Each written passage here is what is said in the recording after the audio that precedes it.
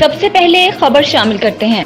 पाकिस्तान तहरीक इंसाफ के सदर चौधरी परवेज इलाही को गिरफ़्तार कर लिया गया है। जराये के मुताबिक सबक वज़ीर आला पंजाब चौधरी परवेज इलाही को उनके घर के करीब से गिरफ़्तार किया गया। परवेज इलाही गाड़ी में जा रहे थे। पुलिस ने गाड़ी रोककर गिरफ़्तार किया।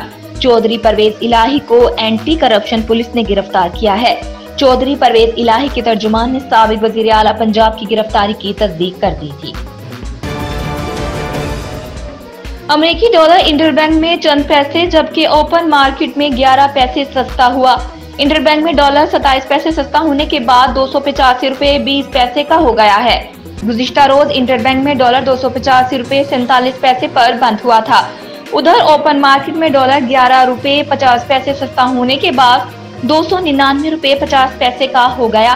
गुजश्ता रोज ओपन मार्केट में डॉलर तीन सौ ग्यारह रूपए पर बंद हुआ था। पाकिस्तान तहरीक इंसाफ के वाइस चेयरमैन शाह महमूद कुरैशी ने अडयाला जेल में उनकी साहबजादी गोहर बानो कुरैशी से मुलाकात की। गोहर बानो ने कहा कि वालिद के साथ कानूनी मुशावरत की है। वालिद ने वाज पैगाम दिया है कि लीडर के साथ थे और रहेंगे। ख्याल रहे कि गुजशत रोज पीटीआई की आला क्यादत ने भी शाह महमूद कुरैशी से अडयाला जेल में मुलाकात की थी। रियासत मुखालिफ जज्बात उभारने वाले को एयर टाइम ना दिया जाए। Pakistan electronic media regulatory authority PEMRA की जानब से तमाम टीवी चैनल्स को जबता इखलाक जारी कर दिया गया है। पैमरा ने अपने अहकाम में कहा है कि रियासत मुखालिफ जज्बात उभारने वाले शख्स को एयर टाइम ना दिया जाए। पैमरा के मुताबिक नौ मई के वाकत में सरकारी इमला को तबाह किया गया। विफाक को कमज़ोर करने के लिए रियासत मुखालिफ जज्बात को उभारा गया।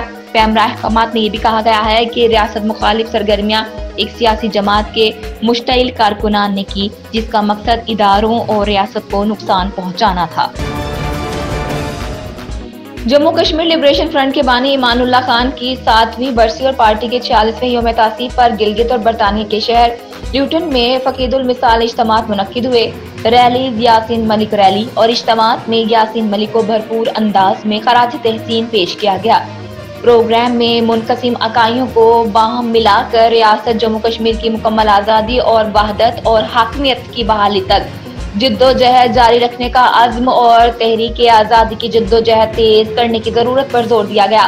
भारतीय हुकूमत की अहम पर दायरा करदा फर्जी और मन घड़त मुकदमात की पादाश में गैर मुनसिफाना अंदाज में गुजशत साल उम्र कैद की सजा सुनाए जाने के बाद अब भारतीय हुकूमत की तरफ़ से यासीन मलिक को सजाए मौत दिलाने की कोशिशों के खिलाफ गिलगित शहर में रैली यासिन मलिक रैली की शक्ल में जम्मू कश्मीर लिबरेशन फ्रंट का एक भरपूर अवामी एहतजाजी मुजाहरा मुनद हुआ, जिसकी क्यादत पार्टी रहनुमाओं ने की।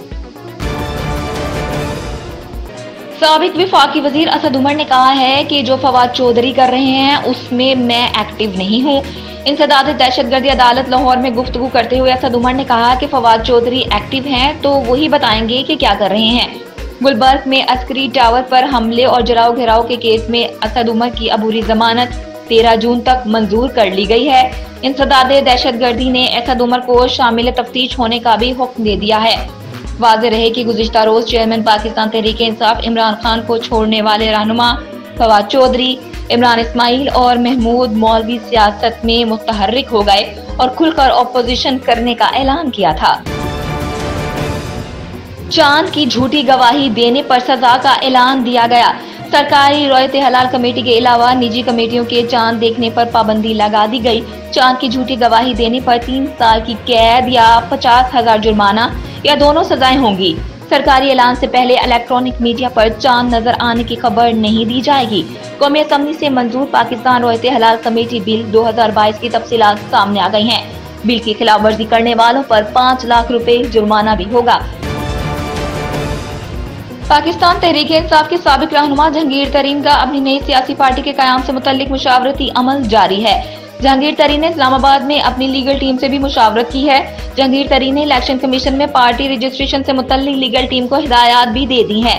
जहांगीर तरीन ने अपनी नाहली से मुतलिक मुमकिन पिटीशन पर भी लीगल टीम से मुशावरत कर ली है। जराये के मुताबिक जहांगीर तरीन आज भी इस्लामाबाद में अहम तरीन शख्सियात से मुलाकातें करेंगे। पीटीआई छोड़ने वाली पंजाब की अहम तरीन शख्सियत जहांगीर तरीन से रबते में है।